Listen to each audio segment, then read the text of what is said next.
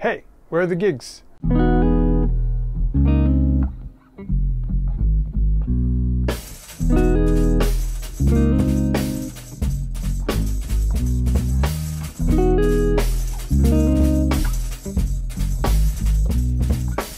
So the other week I got this question. I'm a pro drummer looking for paying gigs. Can you help?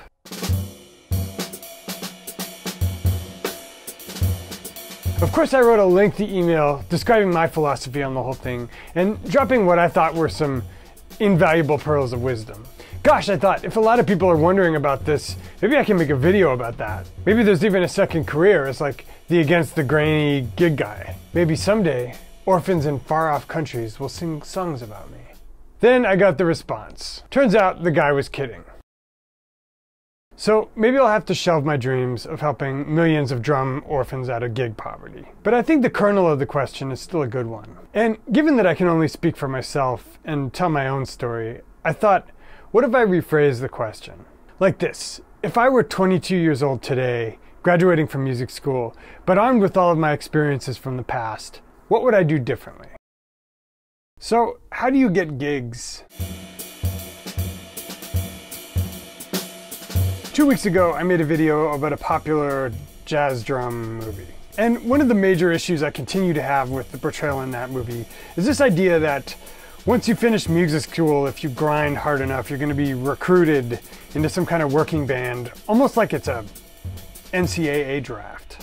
Of course, anyone who's ever actually played music for a living knows this isn't the case. It's completely possible to graduate, get an apartment, plug in a phone, and wait forever for it to ring. Because of course, there's no one waiting to pick you unless you do what I did and go on the cruise ships or audition for the army. So this means you're left hustling your own gigs. And when I graduated from music school, there were a few ways of doing this. And if you notice anything missing in my subsequent descriptions, don't worry. I'm only detailing what I tried in my 20s. I'm going to fill the rest in later.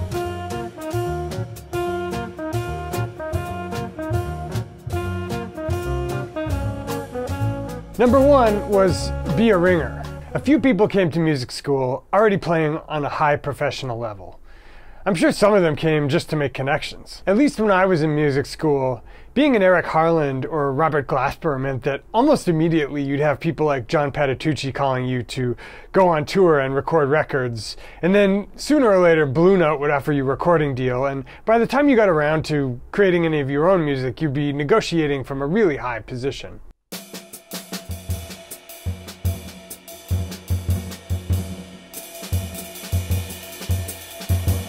For those of us who came to music school as incomplete entities hoping to learn, of course, that wasn't an option. Number two was be a good hang and a decent musician. Besides the names, there were plenty of good musicians who were also fun to hang out with. Restaurant gig in Dumbo this Saturday?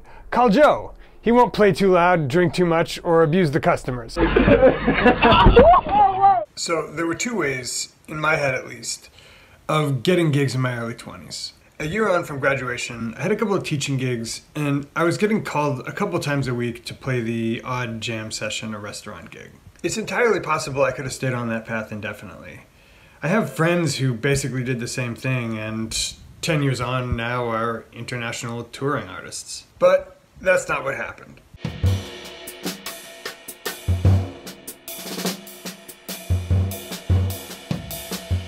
Hey, Flashback to the present for a second because I want to make the plot super easy to follow. Looking back, it's clear I was limiting my options. I wasn't approaching things very entrepreneurially, and I was doing a lot of waiting and hoping to be picked. Also, if I'd achieved even limited success with these lazy, limited approaches, I might never have tried anything else. But reality intervened and forced me to change my approach. Here's how.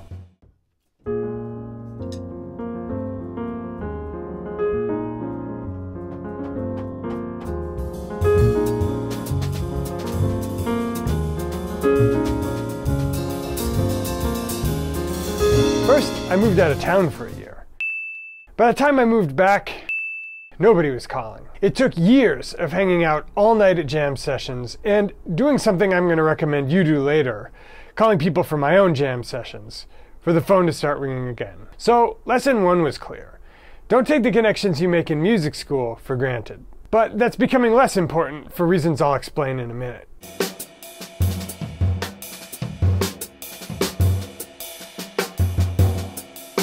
Second, the entire scene was shrinking. When I was in music school, it seemed like there were live music venues on practically every block. But what those of us who were around in the early mid 2000s experienced was a real contraction in the scene. Here are just a few of the places I used to go to to listen to live jazz that don't exist anymore. Kavehaz, Puppets Jazz, The Fifth Estate, Louis 649, The C Note, The Zebulon Cafe, Spike Hill, Rose Live Music, etc., etc. These are just a few. Wait, let me find evidence for this so it's not just my anecdotal opinion. Here we go.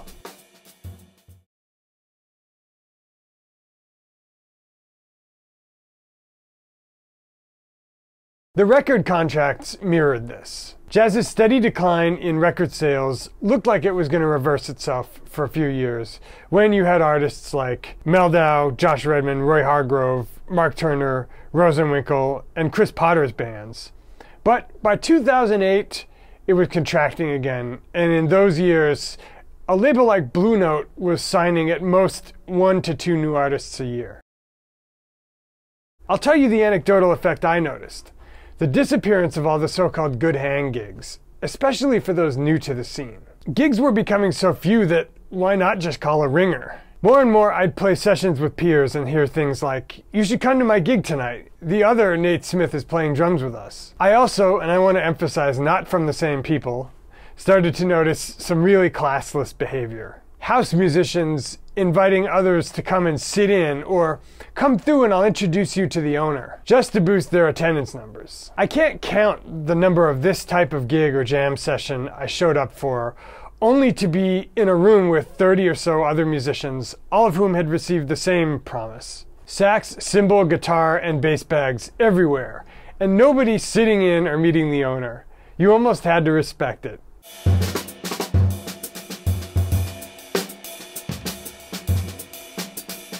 So let's 2020 hindsight this. The early mid 2000s were a perfect storm for the demise of abundant, well paid jazz gigs. 9 11 might have played a role, the rise of DJs and the phasing out of live music sure didn't help, and the rise of internet music sharing, I'm sure, took a bite out of already waning record sales, especially in a niche music like jazz. And all this coincided with a big chunk of baby boomers kids graduating from music school all at once wondering, hey, where are the gigs? No wonder people were getting petty and cutting each other up. They were fighting over a shrinking pie.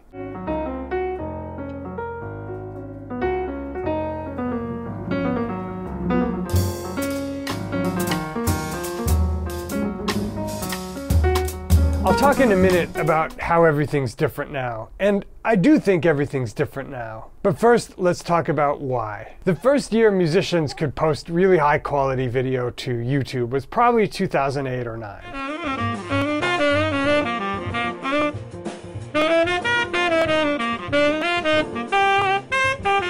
It took a few years of experimentation before people realized they could produce direct to internet music from a home studio. One, two, three, four, five, six.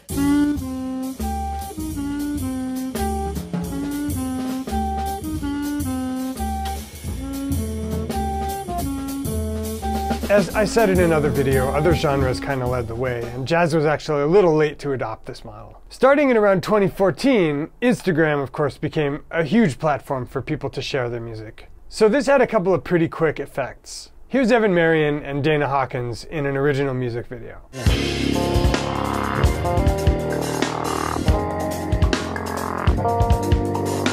Now here they are touring the world. Here's a bass player who called himself MonoNeon, playing along with, well, everybody's video.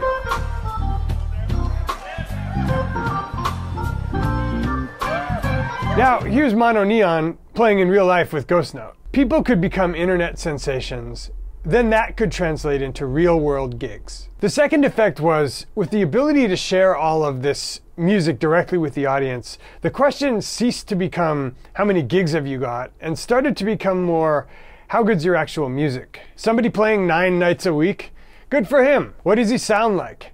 P.S. Check out this cool song I just wrote.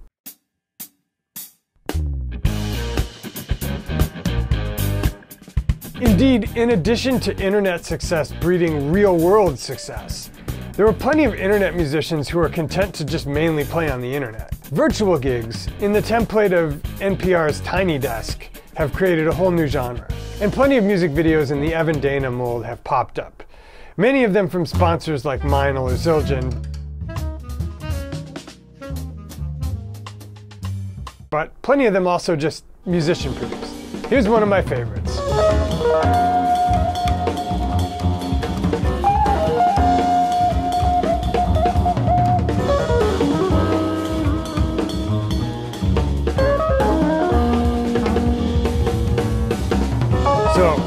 Tell a 22 year old version of myself, just now graduating from music school, about getting gigs? A few analog things, first of all.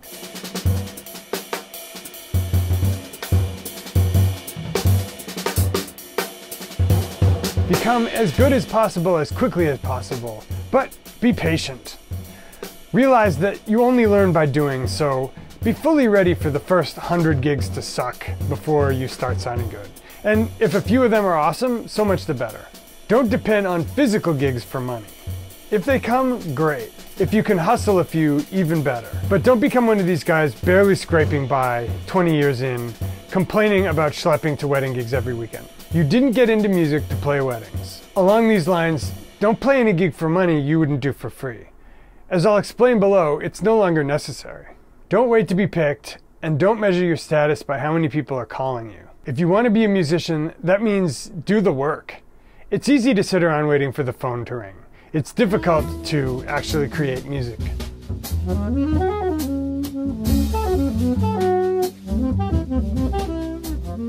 Optional. Start a band. If a leader sideman situation is a one person show in which you'll probably have to pay people at least nominally for collaborating with you, a band is more like a partnership where you all share risk but then also share in the rewards. Or maybe you're not expecting any rewards and you just want to play for the love of music. It's hard to start a band, so be patient. And in the interim, don't be afraid to pay people to play with you. See item two. Don't depend on gigs for money. Okay, digital gigs. But how am I supposed to play? Let's first establish the abundance baseline. You could do 100% of your gigs on the internet. You could set up a few cameras in a practice room, invite a few people, and do YouTube lives, either paying people or as a band. Between that and solo stuff, you could never need another physical gig again. I just say this so we can stop fighting over scraps. And so you can start saying no to crappy physical gigs.